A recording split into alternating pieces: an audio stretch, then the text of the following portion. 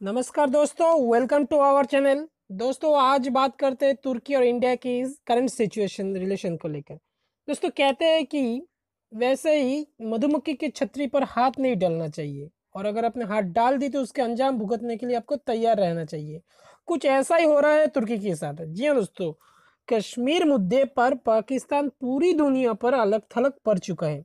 अब तो पाकिस्तान के प्राइम मिनिस्टर को भी ये एहसास हो चुका है कि किस तरीके से भारत ने उन्हें पूरी दुनिया भर में आइसोलेट कर दिया है? अगर किसी ने पाकिस्तान की तरफ़ से थोड़े बहुत आवाज़ उठाई है तो वो मलेशिया और तुर्की जैसी इस्लामिक कंट्री है।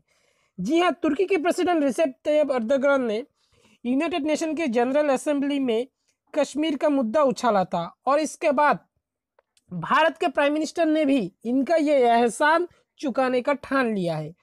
तुर्की की तीन पड़ोसी देश साइप्रस, आर्मेनिया और ग्रीस के राष्ट्राध्यक्षों के साथ मुलाकात करके भारत के प्राइम मिनिस्टर ने यह साफ़ कर दिया है कि अब तुर्की को भी उन्हीं की भाषा में जवाब दिया जाएगा। दरअसल इन तीनों देशों के साथ तुर्की की विवाद चल रहा है, बल्कि साइप्रस के कुछ हिस्सों में तो तुर्की ज़बरदस्ती कब्जा भी करके रखा है। और अब भारत ने कूटनैतिक और आर्थिक दोनों मोर्चे पर तुर्की को सबक सिखाने का ठान लिया है। और इसी के मद्देनजर भारत ने तुर्की के साथ 230 अरब डॉलर का एक समझौते को होल्ड पर रख दिया है। दरअसल इंडियन नेवी के ज़रूरी एक वारशिप बनाने के लिए तुर्की के एक कंपनी को चुना गया था।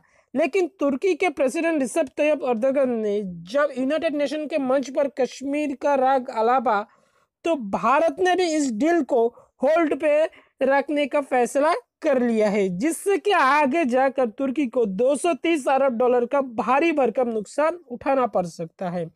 अब तो तुर्की के लोकल मीडिया और डिफेंस कंपनी भी उनके प्रेसिडेंट की आलोचना करने लग गई है। उनका मानना है कि जब संभाल ही नहीं सकते तो दुश्मनी क्यों मोड़ ली? एक बात तो सफे अगर तुर्की इसी तरीके से भारत के इंटरनल मैटर पर टांग अड़ाता रहेगा तो भारत बाध्य हो जाएगा तुर्की को और भी करे और करारा जवाब देने के लिए।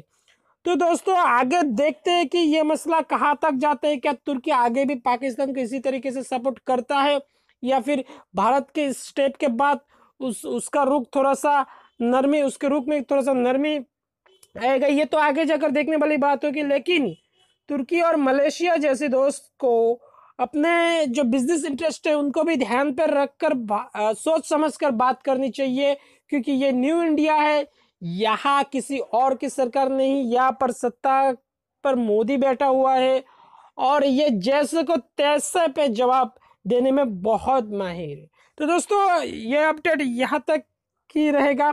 आगे भी इसी इससे रिलेटेड कोई भी न्यूज़ अगर आगे भी आएगा तो मैं आपके लिए एक और नया वीडियो बनाऊँगा। अगर आपको ये वीडियो अच्छा लगे तो एक लाइक, शेयर और चैनल को सब्सक्राइब करके बेल आइकन को दबाना बिल्कुल भी मत भूलिएगा। और आगे भी हमारे साथ बने रहिए, इसी तरीके नए नए डिफेंस अपडेट के लिए। तब तक के लिए टेक केयर, गुड बाय।